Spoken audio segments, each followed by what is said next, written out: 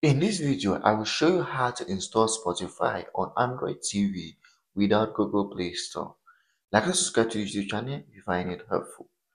So if you have an Android TV or Smart TV and want to install Spotify, but you don't have Google Play Store installed to the Android TV, here's what you can do.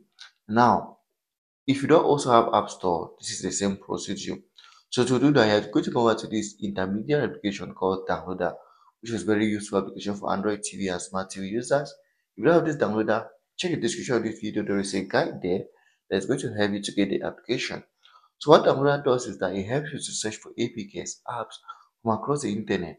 I can download and install them to your Android TV. Once you click on downloader, the interface is very easy. Here's how it looks like. In the search bar, bar you're going to click on Spotify. So you can tap, you can write in download Spotify or install Spotify app, whatever keyword you want to type. The key, the essence is just to click on go. As you click on go, the result page is going to come up with sources or links they can use to install Spotify. So you have to scroll through them and see which one is good for you. So for instance, here's an option. You also always scroll down to see various other options. So this is another option. So you can click on next if these options are not enough.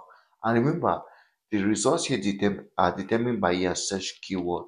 So if you try out this, let's come over here. If this was an Android TV, just come over here. You're going to see the install button here. I can click on install and the application will be installed to your Android TV. Like and subscribe to YouTube channel if you find this video helpful.